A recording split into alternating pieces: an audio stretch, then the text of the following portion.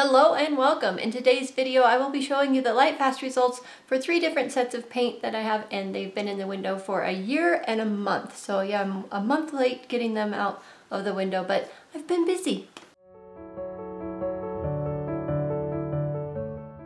The first set of results we'll be looking at is from the Savoir Faire Gouache set.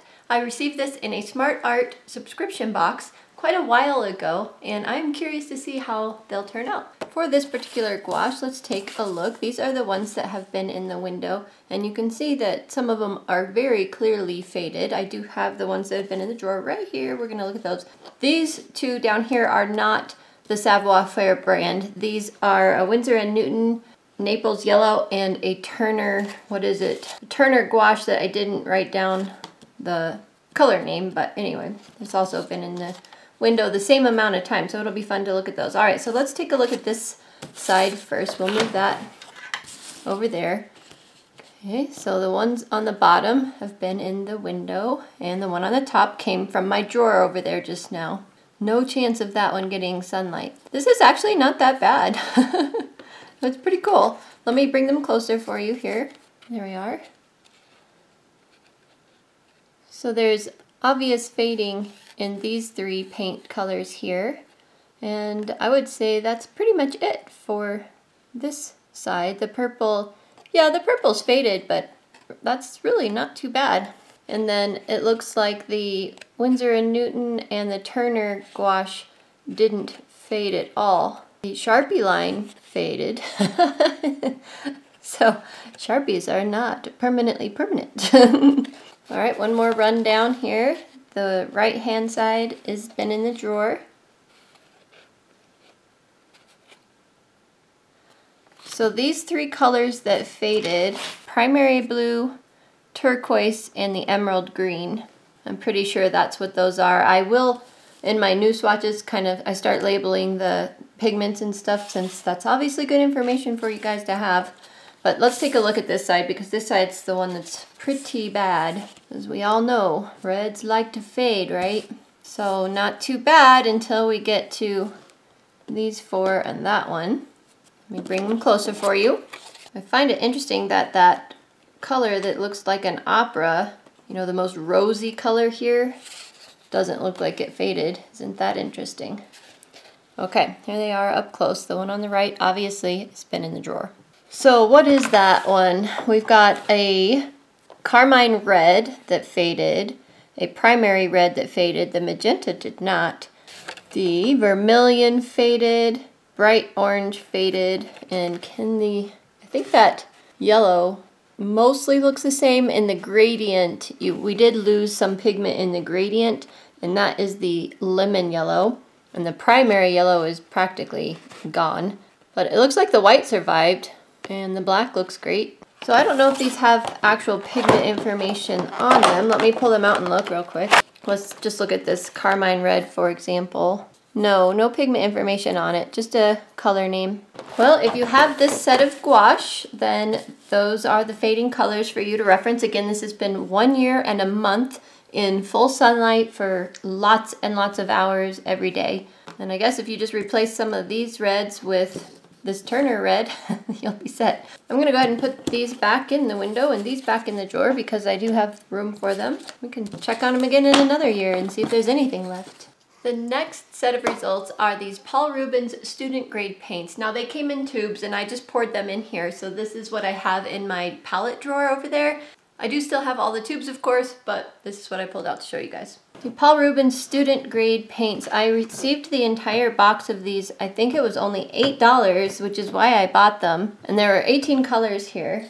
The bottom half of this one is some of the paints in this homemade paint tin here, so we don't need to look at those yet. I mean, you can obviously see that they're there, but I just want you to know that the student grade ones are this strip and the top part of this strip. So let me turn this over so the gradient's going in the same direction. We'll look at this first strip.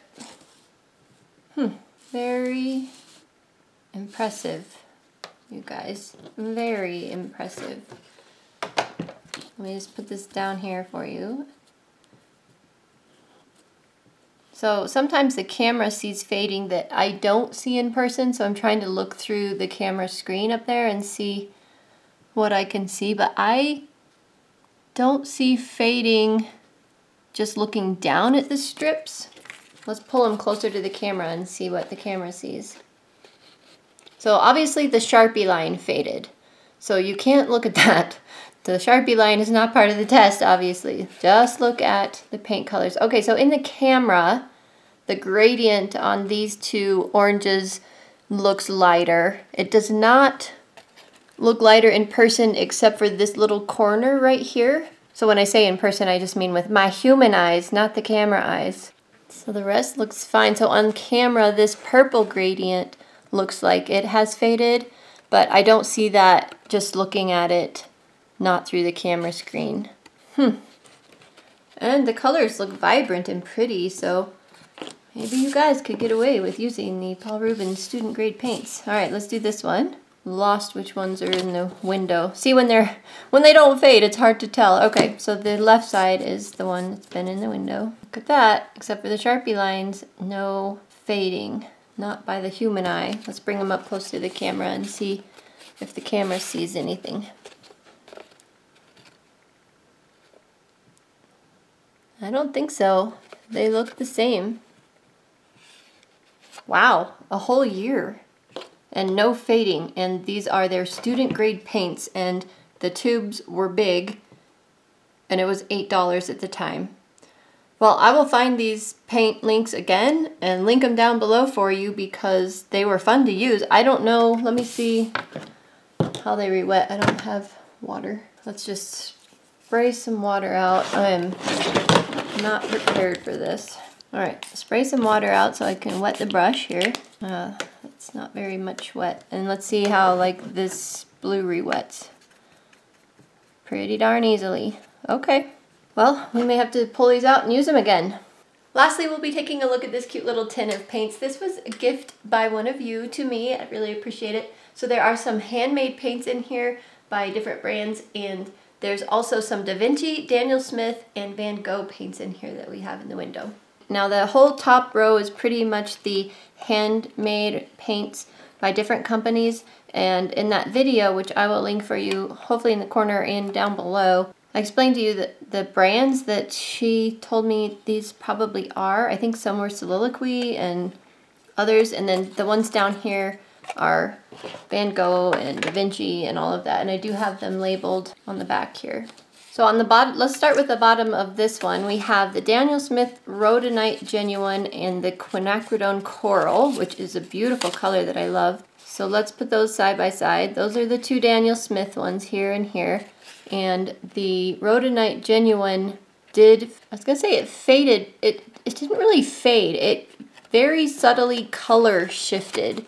So some orange is coming out in the color now on the side that's been in the window. It's a little bit orange tinted. It's just tiny bit more than the side that's been in the drawer. And then the quinacridone coral. Boy, it's hard to tell because that faded Sharpie line kind of messes my eyes up here. Let's get these real close. I don't think they faded at all. I don't think that quinacridone coral faded. Uh, maybe in the camera this gradient looks a little lighter. What do you guys think? It's hard to tell. Okay, the bottom three are the Da Vinci ones. Ultramarine Blue Violet, Prussian Blue Green, and the Naples Yellow Deep. So these are three Da Vinci colors. And I would say no change. You might say on the camera that this ultramarine blue violet has faded in the gradient, but strangely enough, I'm seeing no fading just looking at it with the human eye. I only see that it looks lighter in the camera screen. Interesting how different the camera picks up color than the human eye. So maybe it is faded a little in the gradient, but I mean it is according to the camera, but according to my human eye, no, not faded. Okay, so the rest of the homemade tin, we have Van Gogh paints then from the pink down. So let's look at the pink down. These are all Van Gogh colors, and you can tell that they are the dusk yellow and the dusk green, all those beautiful colors. What else? Uh, dusk violet, dusk pink, and quinacridone rose. So the top one where we're starting, the Van Gogh, is the quin rose, and it did color change a little bit. So while it doesn't look like it faded, it is shifting color, which is funny because it doesn't look like the camera's showing that, but I can see in person, again, the one that's been in the drawer is more pink, and the one that's been exposed to light, some orange tint is coming through there. So interestingly enough, in person, I'm assuming this one here is the dusk yellow. And there is a color difference between the two sides that I can see in person, not just on camera. And the gradient is ever so slightly lighter in person than this side. So some of the green tint, or the yellow tint, I guess if you want to call it that, is fading out of the side that's on the window. But this is a year and a year and a month of full sunlight. So that's pretty interesting. Not too bad, guys. The remaining three to my human eye look completely unchanged, which is good because I love these colors. I think they're beautiful and it's fun to know that I can use them without worrying too much about it. And these top two, obviously, you may not want to use in a painting that's going to hang in a lot of sunshine, but we also don't hang our paintings in direct sunshine usually, right? Maybe they're in direct sunlight if they're near a window for a couple of hours, but not the hours and hours that the rest of these are. Okay, for the rest of these, we have a mint shimmer, an indigo. So we have a, a Pozzuli red, that's the top one. The indigo definitely faded. I can see that with my human eye and in the camera screen. The Caput Mortuum looks completely unchanged. Really ironic because I thought this one faded a lot, but now that I pull the one out of the drawer, it just goes on like that. That's a potter's pink here. So it's just granulating like that to start with, like Potter's Pinks are. This one here uh, is labeled anorthosite. Okay, and it did fade. See, dang those Sharpie lines there, messing with my eyes. I actually don't think that faded at all. I think that it's perfectly matched to the other side. What do you guys think? And then this last one is called Glow. And it didn't fade either. I'm to have to not use those Sharpie lines anymore because that's messing with me. I do have uh, some of these sheets ready to go for this Winsor & Newton Cotman set that I received from one of you. And this is not Sharpie, it's the Faber-Castell Pitt Artist Pen. So it'll be interesting to see if that fades because I'm not going to redo this without the lines. We'll just see what happens. But these were Sharpie lines.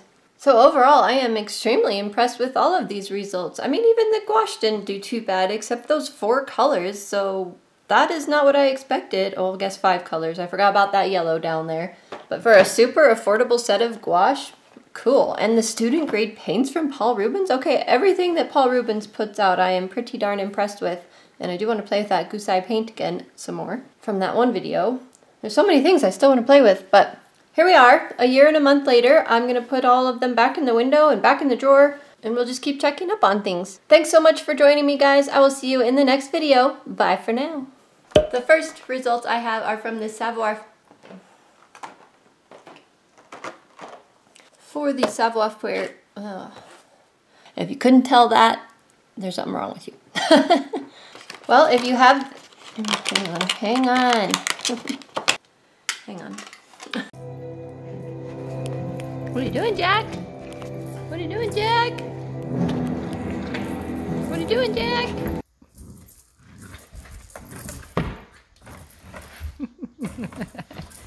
Where are you going?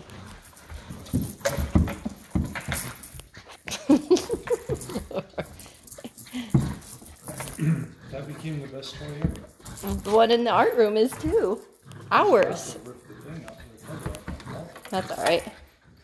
That thing was served its last days because the they don't make refills for them for some reason. yeah, the one in the art room will keep him busy until he tires himself out and takes a nap.